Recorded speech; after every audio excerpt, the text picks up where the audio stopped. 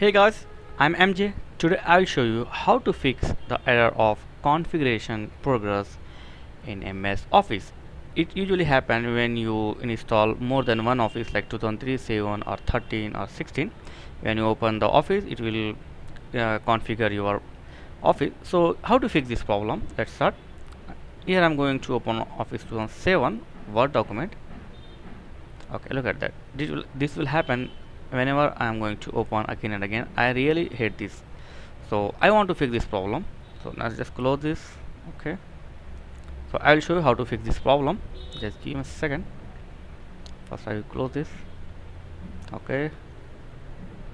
Okay. So now go to your PC and then click on your operating file system like C drive. And in the C drive click on program file and click on common files and then click on Microsoft share.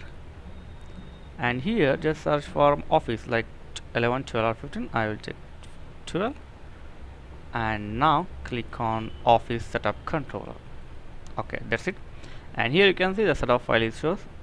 So just you have to rename this. Just right click and rename like this and I will give it like uh, old. That's it.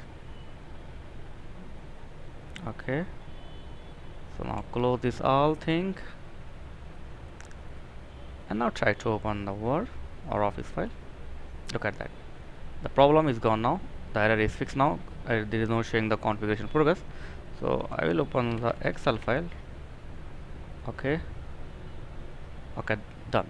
So you can't face the next time problem when you're going to open configuration progress. So i hope it will help you. Thanks for watching and see you next video. Please don't forget to like comment and subscribe. Thank